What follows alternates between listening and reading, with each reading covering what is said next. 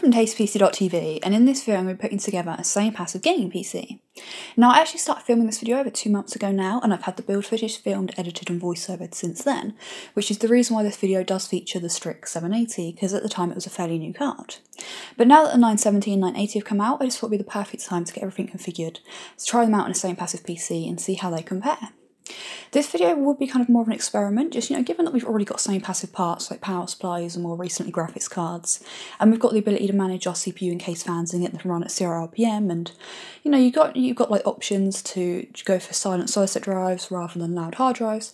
I just thought it would be interesting, given all of those things, to see if it'd be possible to make a rig that was completely silent whilst it was idling, browsing the web, watching videos, and even like gaming. But when you needed the power to be able to play like a heavy game or heavy load game on its highest settings or to render a video in reasonable time, you'd have like decent enough specs and low enough temps to be able to do so.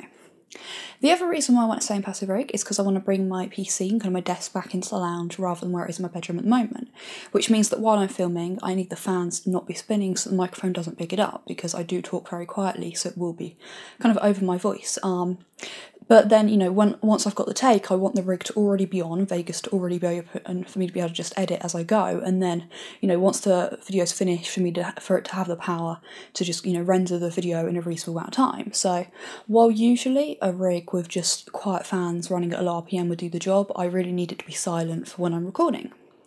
So I'm going to start with the 780 and then once I've tried that, switch for the 970, 980 and in future I can always tweak it more if I need to.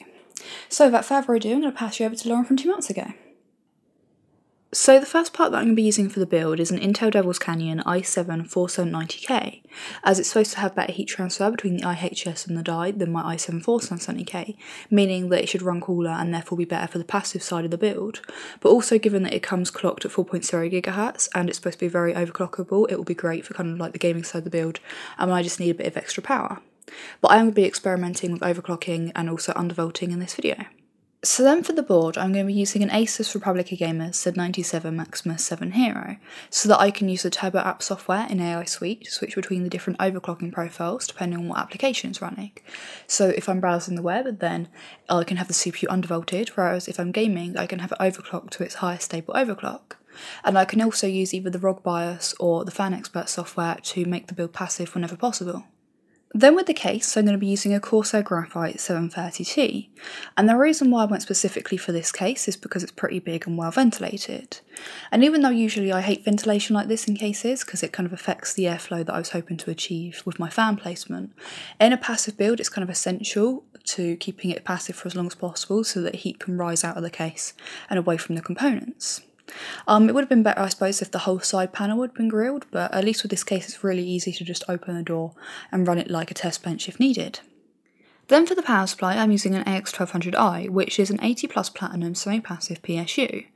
As it's semi-passive, the fan isn't supposed to turn on if the power supply is under 30% of its total load, so 360 watts. And hopefully this rig should require just under that, so therefore the fan should never turn on, and I'll essentially have a silent power supply, which is perfect for this build. I fit it in the floor, fan face up, so that the heat can easily rise out of it. For storage, I'm going to be using solid state drive for obvious reasons. This one only is 120 gig, but I can obviously add more if I run out of space. For that reason, I have removed all of the hard drive cages in the case, so I imagine the finished build might look a little bit empty, but it will be area for it. So next we've got the memory, and usually I don't fit this until right near the end of the build. However, because of the CPU cooler that I'm planning on fitting, as I'm planning on fitting it horizontally rather than vertically, I need to fit the memory first, and it needs to be low profile memory. So for that reason I'm using 16 gig of 1600 MHz Corsair Vengeance Black low profile memory, which is the best low profile kit that I've got. It does only run at 1.5 volts though, so it should help with the heat in that area. So then onto the cooling. Now for the fans, I'm going to be using Noctua's new industrial black PPC fans. While I probably should have used the standard NF-F12s over these as they are quieter, I just could not use these given how sexy they are. But I've two, two 140s intaking in the front, a 120 in taking in the floor, and a 140 in taking in the rear, meaning that all four fans in this case are intaking. I then decided against putting any fans in the roof, because even though then I won't have any fans exhausting, it will mean that when the build is passive, the hot air will be able to escape through the ventilation in the top. Then for the cooler, I'm going to be using a Noctua NH-D15, fit horizontally rather than vertically as I said before, so that hopefully when it's passive, the air will more quickly rise up and away from the fins. With this, I fit one fan, which is blowing air upwards. Um, I was originally planning on using a Redux fan with this, just because I thought it would fit the whole colour scheme better, however it never arrived in time. But I do hope they're not make kind of like an industrial version of the NH-D15 one day, I think that would look really good and sell really well. Um, but all the fans are on low noise adapters and then plugged directly into the motherboard's case fan headers so that I can hopefully get them to stop spinning completely if the temps are low enough. And then finally for the graphics card, I'm going to be using the new Asus Strix, which is a 6GB semi-passive GPU, basically meaning that if the GPU is at a low enough temp, the fan won't spin at all and it will be completely silent, which is obviously perfect for this build. Also, it's got 6GB of VRAM, which is great because I've noticed recently in quite a few games that they've wanted more than 3GB at 1080p. So nowadays, if I was going to be buying a high-end GPU, it'd definitely have to be for a 4GB AMD or a 6GB NVIDIA one. I will be talking more about this card's passive cooling later in the video though, because at the moment I don't know how much it relies um, on the rest of the case having good airflow, when obviously when I'm trying to have it passive, the rest of the case won't have any airflow at all. Thank you, Lauren, from two months ago. So firstly, I'm just going to leave the clock, volts, and everything else in default, except for the memory, which I'm going to set to 1600 megahertz, just because I want to see you know, how everything's running at stock. And as we can see that while the system's idling, it will run at 0.799 GHz at 0.737 volts. And then with the system stress testing, it will run at 4.4 GHz at 1.243 volts, which gives me my voltage limits as I don't really want to go any higher than that. And ideally, it'd be great if I could actually go lower than that with the VCore. So I'm now back in the BIOS and I'm going to change the overclock to 4.5 gigahertz, which is only a tiny overclock, but I don't really want to push it any further than that because, you know, at the end of the day, it's supposed to be a semi-passive rig, not like an overclock beast.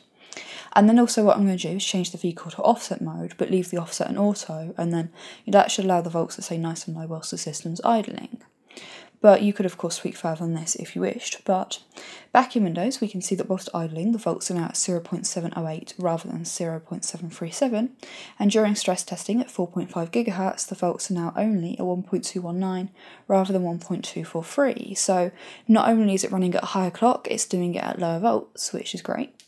Um, and as you can see, so far it's been stress testing for two hours and it's been completely stable. So now that I'm happy with the clock and volts, it's time for me to configure the CPU and case fans, and for this I'm using FanXpert 3 in AI Suite. I should mention that I did have to remove all the low noise adapters off the fans as it was causing an issue where the fans would fail to spin and just make a ticking noise. So I have already named all of the fans across the top here, as you can see, just to make it easier to tell which one is which. But starting with the CPU fan, now what I really wanted to do here was have it stay completely off until the temps hit around 60 degrees Celsius and then have it on a gentle curve up from 60 to 100 degrees. However, AI Suite does limit you to having the fan run at 100% load once it gets to 75 degrees Celsius, which is really annoying because it means, you know, this is all I can do. Um, but I am going to reduce the delay on this fan spin up time to zero as I want it to be instant, and I'm also going to increase the fan spin down time to 25 seconds. So that you know when the CPU is floating around 75 degrees Celsius, it won't just like turn on for five seconds, turn off again for five seconds, turn back on for five seconds, etc. Um, then with the case fans, once again at 75 degrees Celsius, they're going to ramp up to 100% RPM, which does really suck, especially given that industrial server grade NFF12s, and you know even on the lowest RPM are powerful enough to bring the temps well below 65 degrees Celsius. So I never actually intended or you know wanted any of the case fans to hit 100% RPM at any point, and this is really overkill to the point where it's like the fire brigade turning up every time you burn your toast. Um, but yeah, so as I want the fans to turn on at intervals of 5 degrees Celsius, the front and bottom fans I've got coming on at 70 degrees C, and then the rear fan at 75 degrees C, and you know, this is all I could do. So this really is an ideal solution, and I wouldn't particularly recommend it for a semi-passive PC, so I do really hope that Asus eventually release an update that will give me full control of my fans. But anyway, now that I've got everything set up, let's see how things run. So the first test that I ran was to see if the system was say completely passive whilst I was just browsing the web, watching YouTube videos, just generally using the PC but nothing that would really stress the CPU. And the rig did stay completely passive for over two hours, at which point I decided to stop the test. Now, Hardware Monitor did say that one of the cores has spiked up to a max of 70 degrees. However, AI Suite never said the temps went above 57 degrees, which is why none of the fans came on because obviously AI Suite never registered the temps as hitting 65 degrees Celsius. But it probably does mean that, um, you know, as the temps slowly creep up, eventually the CPU fan will come on for like a minute, but then you'll just get another couple of hours of it being passive again. So the next thing was for me to test what the rig was like whilst light gaming, and for this I chose Minecraft, which I'd never actually played before this point because I didn't really like how you couldn't see much, but the game is very fun and extremely addictive, and I ended up running this test for 12 hours rather than two, but that was um me just being thorough and oh, Yes, Farah. So yeah, um, as you can see from the extremely sped up two hours of footage that I did record, the rig stayed completely passive with none of the fans turning on at all, including the graphics cards fans. Which, while I know that Minecraft isn't the most taxing of games, I was really expecting the fans to come on at least intermittently, which I think is quite impressive given this build is using an i7. And then finally I wanted to test the rig whilst heavy gaming, and for this I used Metro Last Light on high settings. With heavy gaming, I did expect all the fans to come on, which you know is what I intended it to do under load. So with this, I really decided just to focus on temps, fan RPM, and average frame rate for these tests. Although I have to say, with these tests, regardless of what GPU I was using, the case fans did not come on at any point. Um, only the CPU and GPU fans started spinning, which was really a lot better than I was expecting. But starting with the Strix 780, it averaged 72.7 FPS, the CPU hit a max temp of 82 degrees Celsius, the GPU hit a max temp of 79 degrees Celsius, and the graphics card fans were never at more than 52% RPM. With the GTX 970, for this it averaged 76.4 FPS, the CPU hit a max temp of 83 degrees, the GPU hit a max temp of 69 degrees, and the GPU fans never went above 42%, and then finally with the 980, it averaged 88.3 FPS.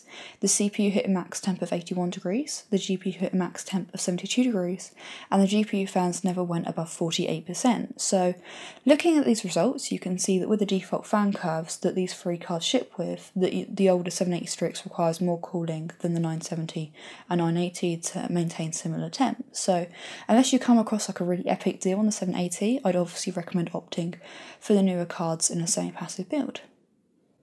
So, concluding my thoughts on the build, what I wanted was a rig that stayed completely silent unless I was gaming or doing something to really push it.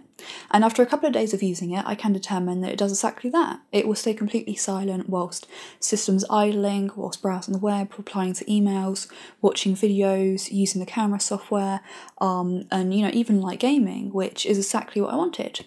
There are a few issues though that I need to iron out, the first of which is that I do notice some kind of like coil whine or electrical noise, which, as it's not particularly loud, if the rest of the rig wasn't passive, you might not be able to hear it, but as it is, you can, so that is quite annoying. Um, I haven't really been able to isolate what part it is coming from though yet, because it's quite echoey inside the case, like I don't really know if it's coming from the graphics card or a power supply the motherboard. Um, I have to say though, I did notice it was louder with the 970 and the 980 than it was with the 780. Um, I still can't really say what kind of percentage of the coil whine they make up, um, but I will definitely test it and be able to give kind of like a definitive answer in my review of the 970 and the 980 because I have had a lot of people ask me, do the Strix cards have bad coil whine?